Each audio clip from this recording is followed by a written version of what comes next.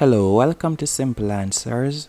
In this video, I'll be showing you how to change the background of your email on Gmail. For example, as you can see right here, I'm currently on Gmail. Now to change the background, all you'll need to do is in the top right hand corner, you're going to tap on settings.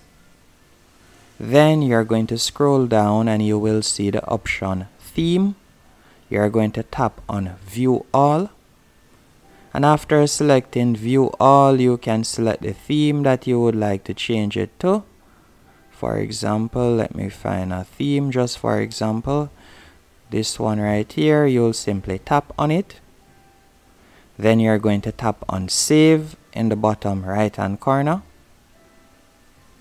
And that's it. Hope you found this video helpful and informative.